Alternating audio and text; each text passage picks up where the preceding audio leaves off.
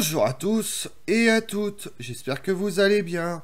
Aujourd'hui, on s'intéresse à l'histoire très riche de cette cité normande et de son église Sainte-Marie-Madeleine, témoin de sa dimension politique et économique. Entre 911 et 1204, elle est la capitale du duché de Normandie.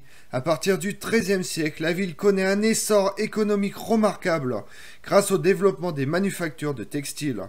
Revendiquée aussi bien par les Français que par les Anglais durant la guerre de Cent Ans, c'est sur son sol que Jeanne d'Arc a été incarcérée, jugée puis brûlée en 1431.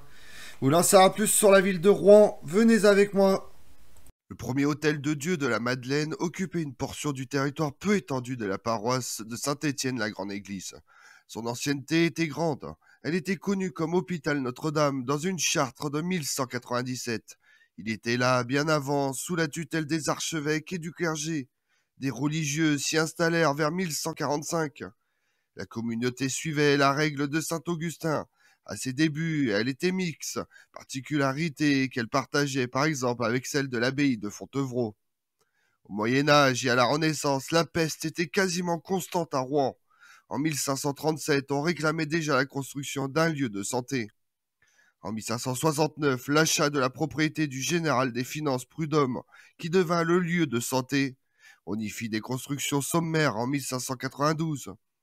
La peste continuant à faire des retours cycliques, L'hôtel de Dieu étant ravagé par un terrible incendie en 1624, une décision fut prise en 1654 de construire deux hôpitaux sur le lieu de santé, Saint-Louis pour les malades et Saint-Roch pour les convalescents. Comme les épidémies avaient diminué d'intensité, les locaux servirent à des usages bien éloignés de la fonction d'origine. Prison, magasins grains, logements de victimes d'inondations. Le transfert de l'hôtel Dieu des alentours de la cathédrale vers le nouveau site ne se fait qu'au milieu du XVIIIe siècle. Les bâtiments de l'ancien Antiel-Dieu formaient un ensemble compact au sud de la cathédrale. Ils s'agrandirent peu à peu au cours des siècles. Au centre se trouvait un ensemble de cours. Les religieuses étaient au sud, sur la rue de la Madeleine. À l'est, la grande salle des malades. Elle contenait 80 lits occupés chacun par trois malades. Entre la chapelle et cette salle se trouvait l'entrée de l'hôpital, avec le logement du portier. L'ancienne église conventionnelle était destinée aux religieuses et aux religieux chanoines et chanoinesses réguliers de Saint-Augustin, mais aussi aux malades. Elle avait remplacé en 1508 une primitive chapelle portante, même vocale, et se trouvant dans la rue de Madeleine, et dont on ne connaissait pas les dispositions. L'église Sainte-Madeleine de Rouen est historiquement rattachée à un hôtel Dieu, vers le milieu du XVIe siècle, la municipalité décide d'implanter vers l'ouest de la ville un nouvel hôpital pour les pestiférés. À cet endroit, il y a déjà un petit hôtel Dieu et une chapelle. Les travaux ne commencent qu'un siècle plus tard, pour s'achever en 1757. En 1753, on décide de remplacer la chapelle devenue trop petite par une église. Parvis, l'un des deux architectes de l'hôpital, est mis à contribution. À sa mort en 1760, les travaux sont interrompus.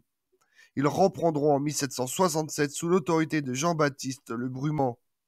Avec un nouveau plan, l'édifice est achevé en 1781 et béni la même année. Jusqu'à la Révolution, l'église servira aux malades de l'Hôtel Dieu géré par les religieuses chanoinesses de Saint-Augustin.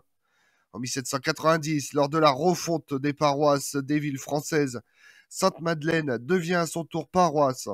Sous la terreur, l'église est fermée. Elle est rendue au culte en 1795. Avec le Concordat, elle devient paroisse principale. Sainte-Madeleine ne fait pas partie des églises de Rouen que visitent les touristes plus attirés par la cathédrale Saint-Ouen ou Saint-Maclou. Et pourtant, c'est un magnifique bâtiment de style néoclassique qui rassemble toutes les spécificités de cette école, dont une série de piles cannelées à chapiteaux corinthiens et une très belle coupole à caisson. Le site de Rouen a été occupé dès la préhistoire, comme l'indiquent les résultats de fouilles effectuées récemment. Il y a 9000 ans, on chassait le Rennes dans l'actuelle rue Jeanne d'Arc et 900 ans avant Jésus-Christ, on se déplaçait en pirogue sur la Seine. C'est aux Romains que l'on doit la fondation d'une ville sur la rive droite de la Seine. Site favorable car protégé des inondations, alors que la rive gauche est marécageuse et les îles instables. La fondation se fait sous le règne d'Auguste au premier siècle de notre ère, et la ville baptisée Rotomagus se développe du fait de sa situation favorable. Reliée par la Seine à Lutèce, elle est aussi un carrefour des voies terrestres.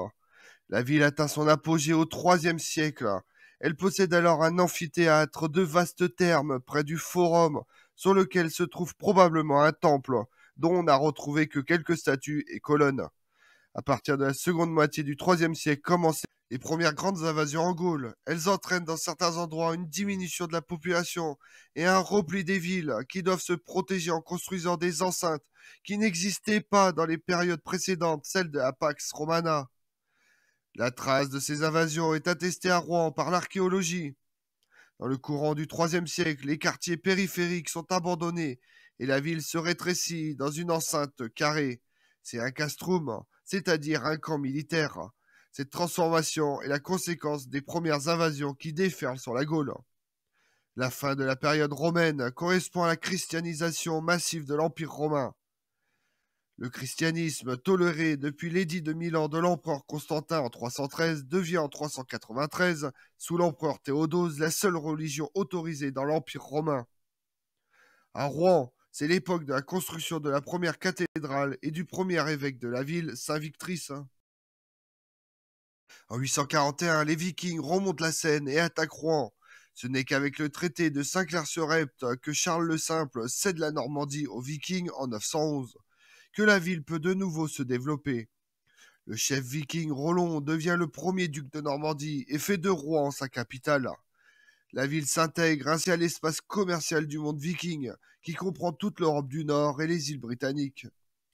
En outre, les Vikings remontent les fleuves russes jusqu'à Constantinople et abordent au Groenland et un Vinland localisé à Terre-Neuve. Rouen devient un entrepôt pour les butins des Vikings, un port de commerce avec le bassin parisien un marché d'esclaves. On y atteste la présence de visiteurs venus de loin, des Grecs, des Scandinaves, des Irlandais, des Italiens. Une importante communauté juive vit autour du palais de justice sous lequel se trouvent les vestiges d'un monument juif unique en Europe du Nord. La conquête de l'Angleterre par le duc de Normandie, Guillaume le Conquérant, en 1066, lie Rouen à l'expansion normande vers ce pays puis vers l'ouest de la France, à l'époque où Henri de Plantagenet règne sur les territoires s'étendant de l'Aquitaine aux confins de l'Écosse. Le rayonnement de Rouen se mesure à la présence d'un atelier monétaire dont les monnaies se retrouvent jusqu'en Russie ou dans les États latins d'Orient. Les Normands du XIe siècle, ayant conquis la Sicile puis participé aux croisades, Très tôt par rapport aux villes françaises, Rouen obtient une charte communale que lui accorde le duc de Normandie vers 1150. Il s'agit des établissements de Rouen. Tout homme libre ayant un an de résidence relève alors de la juridiction communale. Seules quelques familles participent au gouvernement de la ville, les sans-pères. Le commerce est très actif grâce aux relations avec la région parisienne et l'Angleterre. Les Rouennais vendent du sel et du poisson aux Parisiens et commercialisent le vin de Normandie en Angleterre. Ils ont aussi des liens commerciaux avec l'Irlande. La ville est en outre un centre intellectuel et artistique stimulé par la construction de la cathédrale. La conquête de la ville par Philippe Auguste et le rattachement de la Normandie au royaume de France ne freinent pas la prospérité rouennaise. Philippe Auguste maintient les privilèges communaux et laisse aux Rouennais le monopole du commerce sur la basse Seine. La ville s'accroît et devient la seconde ville du royaume, une place qu'elle conservera longtemps. Des paroisses apparaissent hors les murs, Saint-André au nord, Saint-Hilaire et Saint-Paul à l'est, Saint-Sauveur au sud. Cependant, la ville intramuros n'est pas très dense, et il demeure de nombreux jardins ainsi que des couvents. Au nord de la ville, Philippe Auguste a fait bâtir un château dont il reste aujourd'hui le donjon. Les Rouennais vont chercher la laine en Angleterre et vendent leurs draps aux foires de Champagne, d'où ils sont acheminés vers la Castille ou l'Italie.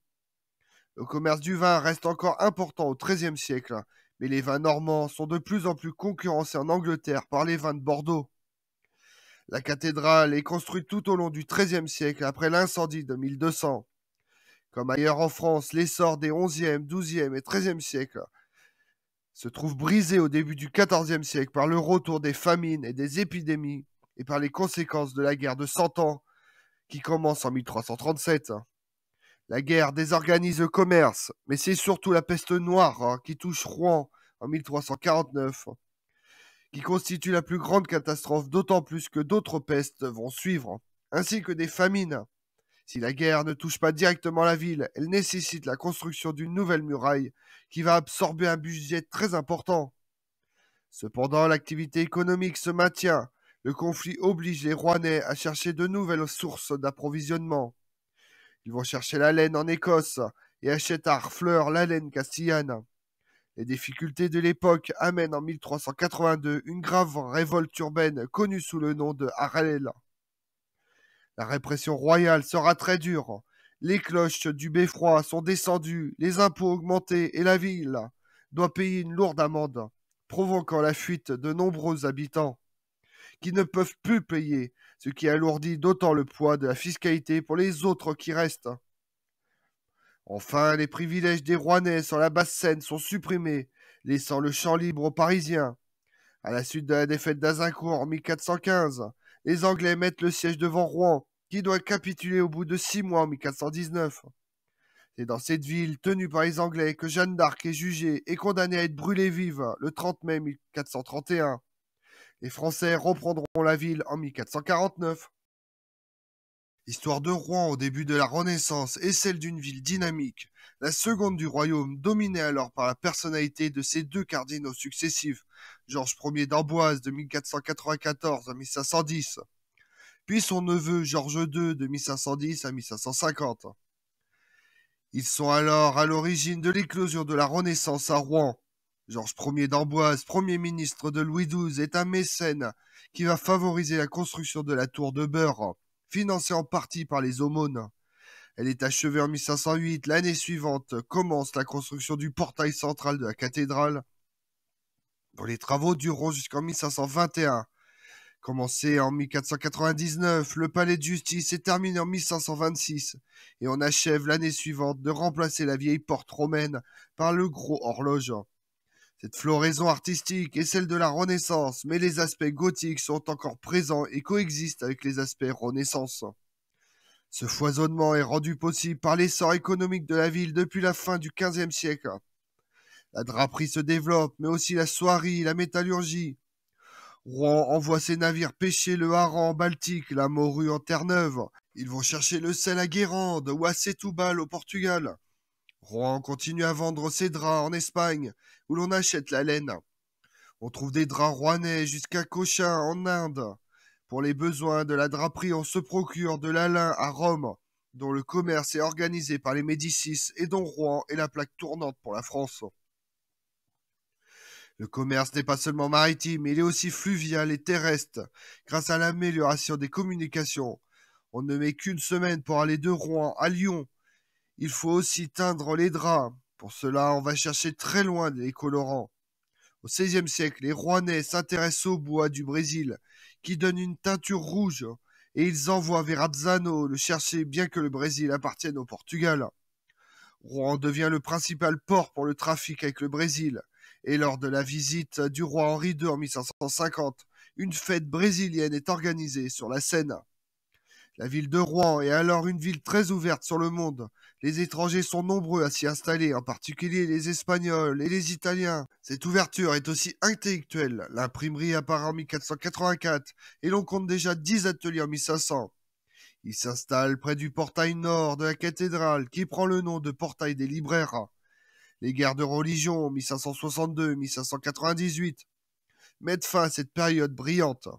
La ville est investie par les calvinistes en 1562, puis reprise par les catholiques, puis en 1591-1592.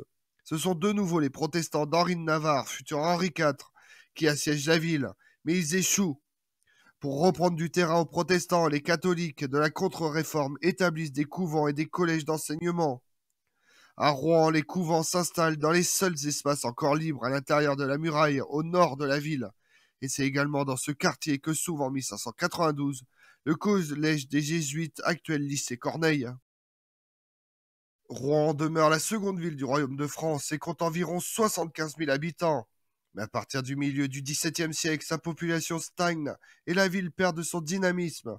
Cependant, les Rouennais restent actifs sur toutes les mers, en particulier dans le nord de l'Europe, sur la côte d'Afrique et aux Antilles, ainsi qu'en Nouvelle-France, où partent colons et religieux.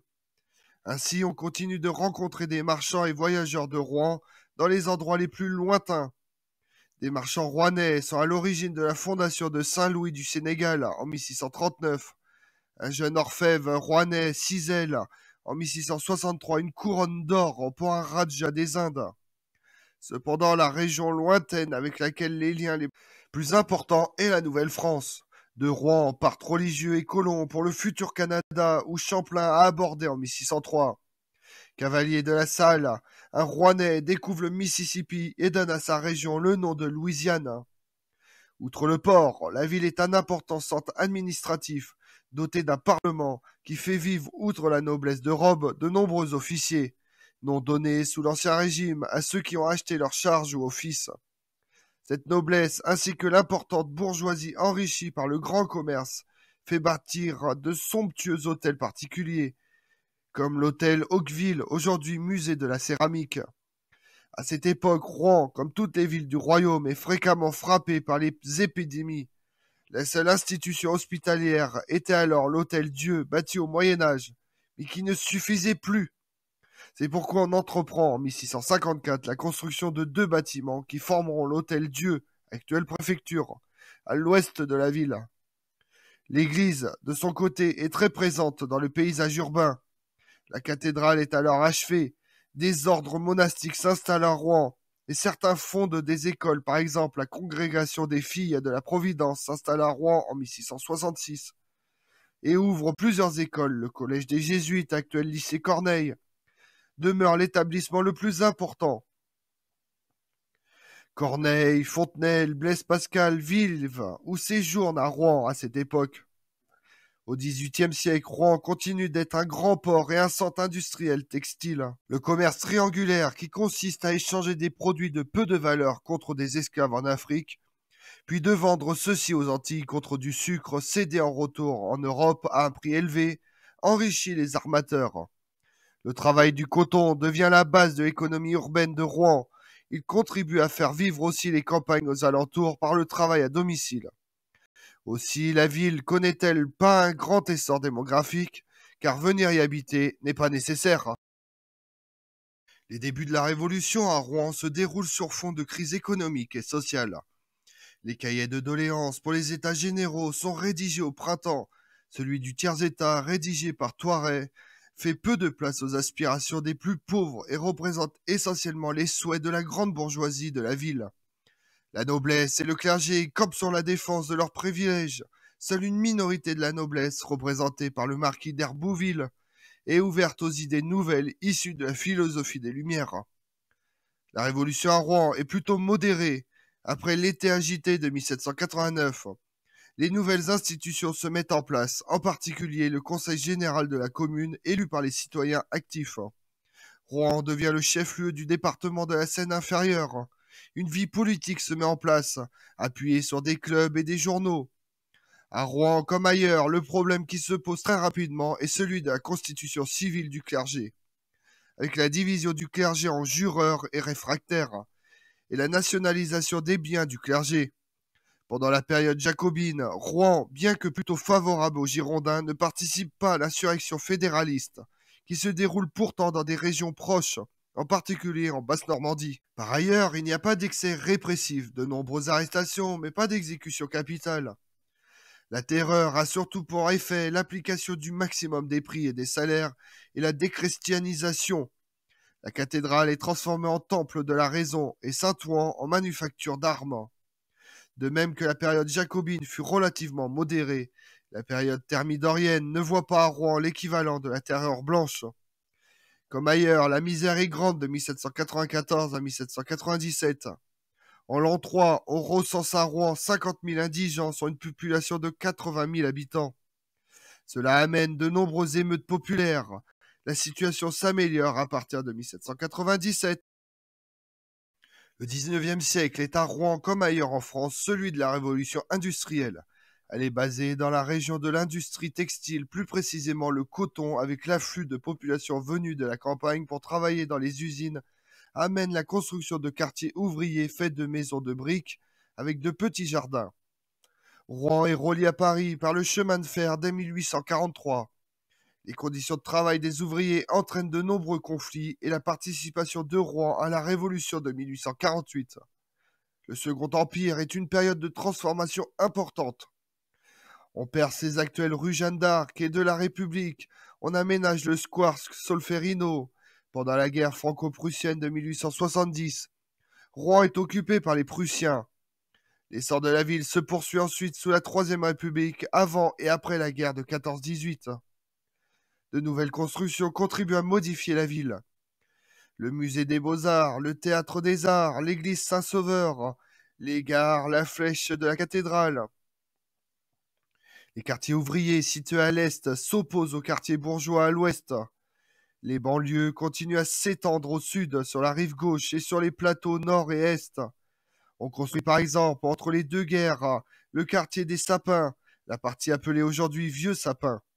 C'est surtout par la vie culturelle que Rouen continue à rayonner tout au long du XIXe siècle, grâce à des écrivains comme Flaubert ou Maupassant, par les impressionnistes de l'école de Rouen et la série des cathédrales de Rouen de Monet, par la qualité de sa vie musicale symbolisée par le théâtre des arts, les guinguettes sur l'actuelle île La Croix.